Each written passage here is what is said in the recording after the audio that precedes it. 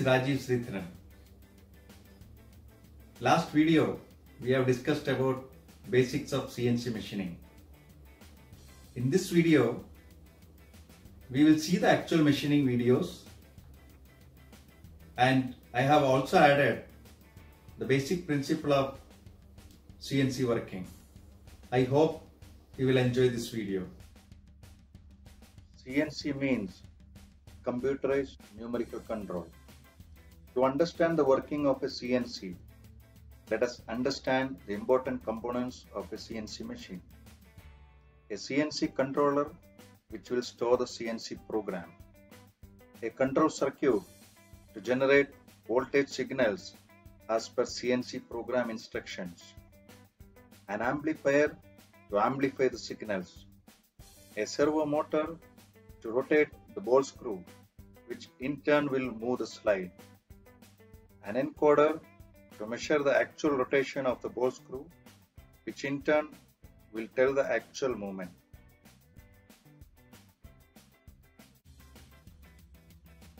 In this video, you can see the ball screw rotation and actual movement of slide. A CNC machine is having a closed loop system. Encoder will check the actual movement and the signals will be sent back to the controller. Controller will analyze the variations if any and appropriate corrections will be made.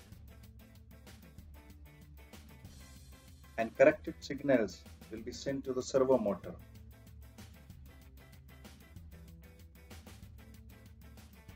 There are two types of encoders, absolute and incremental. With an absolute encoder, actual position will be measured. With incremental encoder, it will only check the relative position with respect to the reference position.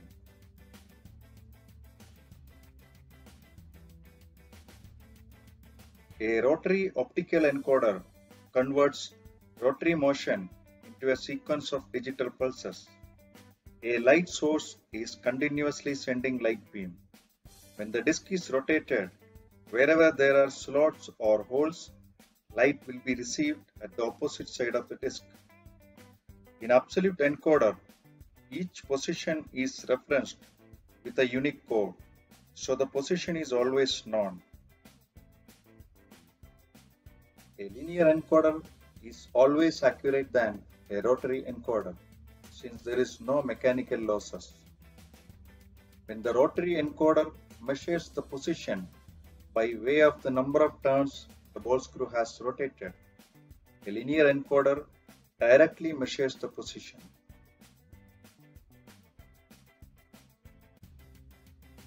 Now what you see is a ball screw assembly. You can see the recirculating balls. When a ball screw is rotated one turn, the movement need not be exactly equal to the pitch. Actual movement can differ because of backlash. A backlash is an error caused by the play between the nut and the screw. When the direction is reversed, the movement will not happen by an amount equal to the play. When there is no play between the ball and the slot, the movement will be smooth. Now you can enjoy some videos showing parts of the machine and actual machining videos. They are self-explanatory.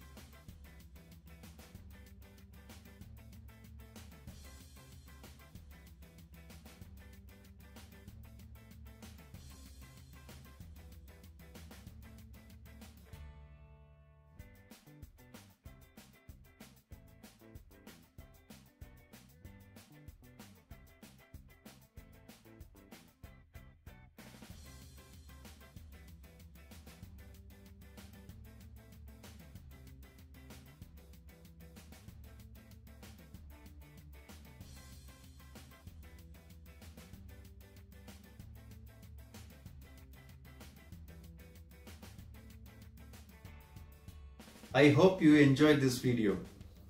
If you have liked it, please press like and subscribe the channel for getting notification on new videos. I will bring more videos like this. Thank you for watching. Bye for now.